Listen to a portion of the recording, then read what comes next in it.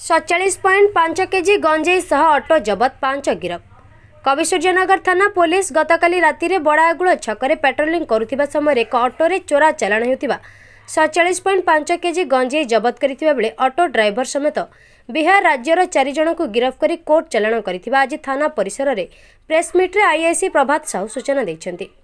Police patrolling ସମୟରେ ଥାନା ଅଧିକାରୀଙ୍କ ନେତୃତ୍ୱରେ ଚଢ଼ାଉ କରାଯାଇ ବିହାର ରାଜ୍ୟର ପନ୍ନାଲାଲ ରାଜକୁମାର ସାହାଣୀ ରିଙ୍କୁ ଦେବୀ ଶାନ୍ତି ମୁସ୍ମା ଓ ଅଟୋ ଡ୍ରାଇଭର ପିକୁନା ମହାନ୍ତିଙ୍କୁ ଗିରଫ କରି କେସ୍ ନମ୍ବର ତେୟାଳିଶ ବାଇ କୋଡ଼ିଏରେ ଧାରା ଅଣତିରିଶ ଏନ୍ଡିପିସି ଆକ୍ଟ ପ୍ରକାରରେ କୋର୍ଟ ଚାଲାଣ କରାଯାଇଛି। ଏସବୁ ଗଞ୍ଜେଇ ଗଜପତିରୁ ଗଞ୍ଜାମ ଦେଇ ବିହାର ଚାଲାଣ ହେଉଥିବା ପୋଲିସ ସୂଚନା ଜଣାପଡ଼ିଛି।